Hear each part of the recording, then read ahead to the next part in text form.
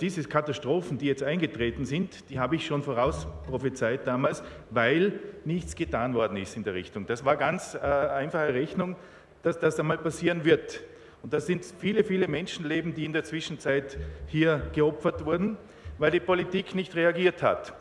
Und ich habe damals diesen Bericht äh, beieinander gehabt. Alle Unterschriften ist nicht so einfach, weil man von sieben verschiedenen Ländern Abgeordnete braucht, die dem das, das zustimmen und dann 21 Unterschriften. Das habe ich geschafft. Dann wurde ich aber dort abgezogen.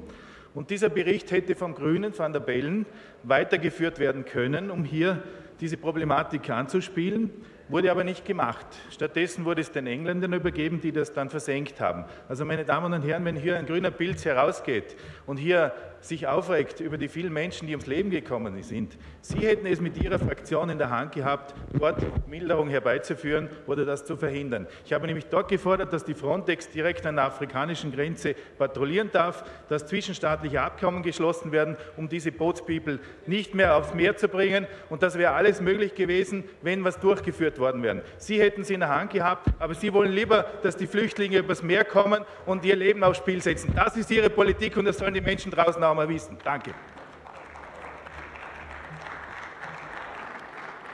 Zum Wort ist niemand